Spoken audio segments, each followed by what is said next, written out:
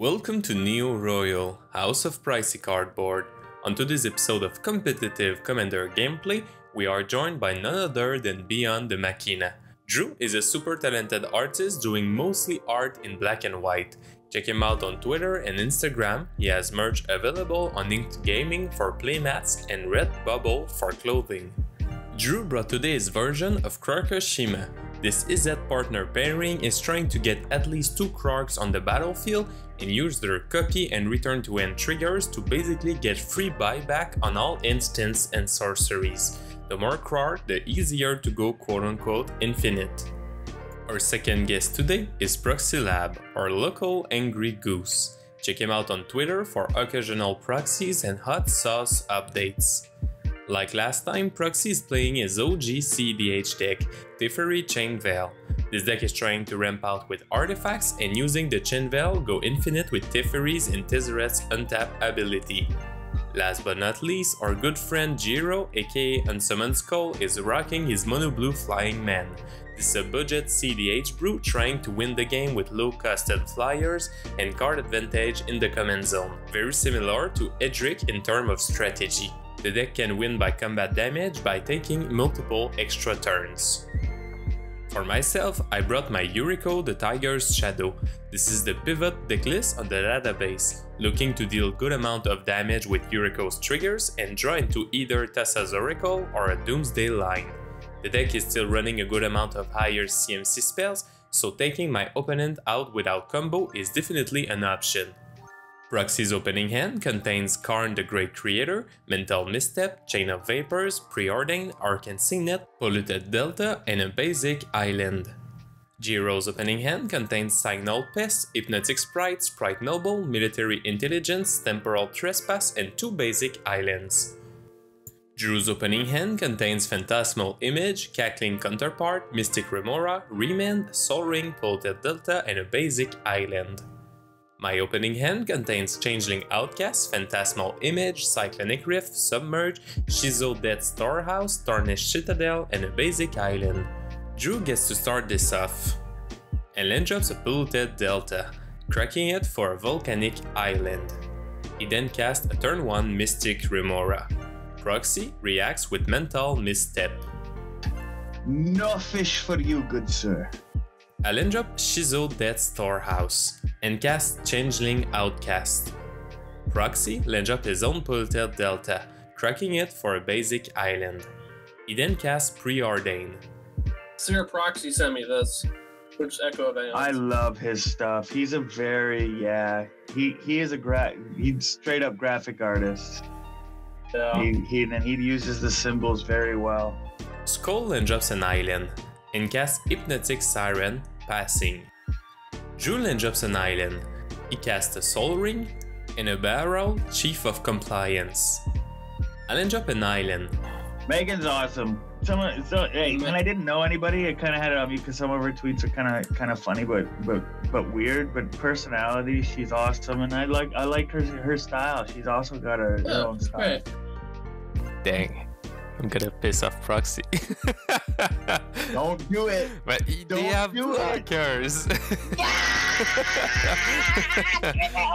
gonna set my uh, 1 1 to Proxy. I don't even have the lowest or highest life. Oh, that, that's not how it works. Yeah, I I'm know. gonna uh, Yeah, you- ninjutsu Yuriko. It's So- CDH. I'm not really gonna get triggered. Heading into combat, my changeling goes to proxy. Before damage, I ninjutsu my commander, Yuriko, the tiger's shadow. They're already here. On damage, I reveal misdirection, making my opponents lose 5. Proxy then drops an island and casts Arcane Signet. Jiro untaps and starts with combat. And now comes the question of where do I swing? Go that way. That way. yeah, I'll, I'll go in Neo. He sends the siren to me. In second main, he casts Signal Pest and pass.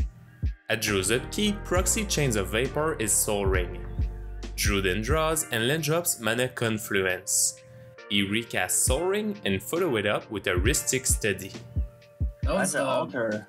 Yeah, that's a hard alter. It's Yeah. Mike Sad from playing with power. Okay, yeah, he does some good stuff. Yeah, I shared all of his stuff as much as I can.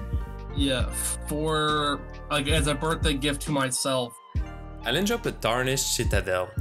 Going to combat, I send Yuriko to proxy. On damage, I reveal a land. In second main, I recast Changeling Outcast, paying for the Study.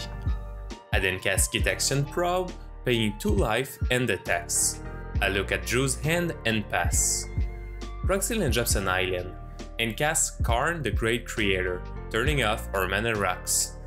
Using the plus 1, he turns his signet into a 2-2 before passing. Jiro then drops an island, and casts Military Intelligence. He then goes to combat and attacks me with Signal Pest and the Siren. On his turn, Drew casts his first commander, Krark the Thumbless. Live by the coin or die by the coin. Double or nothing. Low on mana because of Karn, he passes. I'll then drop a Morphic Pool, and for my combat step, I send Yuriko and the Outcast to Jiro. On damage, I reveal Thassa's Oracle and Ijur the Steel Wind, making my opponents lose 7. In second main, I cast Phantasmal Image, entering as a second Changeling Outcast. Proxy then drops an island, and cast Jace the Mind Sculptor, using the zero to brainstorm. He then casts Mana Crypt and pass. Jiro then drops an island. He then heads into combat, attacking me once more for 2 damage and a drop. Drew then drops Emergence Zone and casts his second commander, Sakashima of a Thousand Faces. Here comes trouble. Make double! I react to the cast with Cyclonic Rift, targeting Krark. Proxy reacts with Force of Will, targeting my Cyclonic Rift. You want double Krark? I have no it's mana gonna to do it. either way. you. Yeah, he's got little, and it might give us a little bit of an advantage. I have another reaction and cast Misdirection, changing the target of Force of Will to Sakashima. So in the end, Krark is back to Drew's hand and Sakashima is countered. Drew then passes. I then drop a Drowned Catacombs. Going to combat, I send my two Changeling Outcasts to Jiro, and my Commander to Drew. Jiro has a reaction to attackers and casts Aetherize, returning my board to my hand. In second main, I cast Friction Walker, I recast Changeling Outcast, and finally, fourth Bridge Prowler, paying for the study each time. On ETB, I give minus 1 minus 1 to the Hypnotic Siren. Proxy loses his Mana Crypt roll. He then uses Jace 0 to brainstorm again. He casts Time Spiral. We shuffle up and draw a new 7. Proxy then drops an island, and casts Mana Vapors targeting me. He then casts Merchant Scroll. No, it's in the other deck. No, why? One, two, Why wouldn't I put it in four, here? five, six, seven. Okay. Well, I guess I'm gonna have to get force of negation.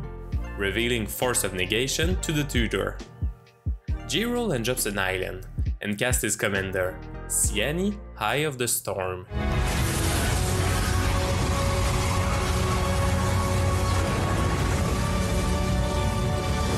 Then casts Cloud Sprite and ship the turn to Drew. Drew then drops an Arid Mesa, cracking it for about 10. He then casts Void Snare on Karn. That return it to my hand? Yes. Sure. Have fun. Go nuts. Are we getting windfall right now? Jeweled Lotus. Uh oh. He casts a Jewel Lotus and uses it to replay Karn. He then casts Jeska's Will, targeting me for 7. Krark triggers and returns the spell to hand. Drew has enough mana to try it again, this time copying the sorcery and creating 14 red mana, as well as exiling his top 6 cards to play until end of turn. Interesting. Well, Mhm. shouldn't have allowed it. Uh, He recast Sakashima, entering as a second Krark. He then casts Heat Shimmer, holding priority to flash in a Dualcaster Mage. These two cards combo together to create an infinite amount of Dualcaster Mages with haste. With the Fierce Guardianship as a backup to protect, this makes it really hard for anyone to interact with the combo, closing this match. Well played. Alright. GG, gentlemen. GG. That was a good game. Thank you for taking the time to watch this video. Make sure to check out all my guests on their respective social media and a big thank you to our supporters on Patreon for making this show possible. I'm really excited to record new gameplay with the Neo Royal playmats, so be on the lookout for that. Take care my friend and we'll see you very soon.